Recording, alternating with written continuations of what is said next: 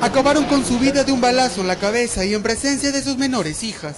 Delia Najarro Cuenca, de 42 años de edad, estaba cerrando su puesto de bazar dentro de este mercado, en el cruce de la avenida Guardia Peruana y la calle Titanes, en Chorrillos.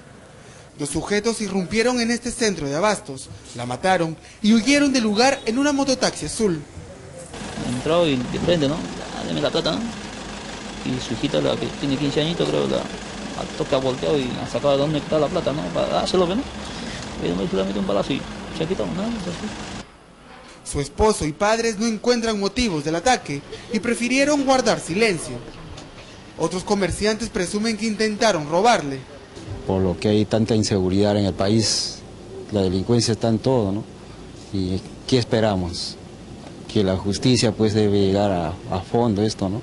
Aunque otros refieren que no le robaron nada y que se trataría de un ajuste de cuentas. Pero le llegaron a robar a la señora. No, nada, nada, nada, no salió ni un sol, no salió nada. El cuerpo de Najarro fue sacado de la ambulancia donde el médico legista y el fiscal de turno realizaron la diligencia respectiva. Se determinó su traslado a la morgue central de Lima. Las investigaciones del caso se encuentran en la sección de homicidios de la Dirincri.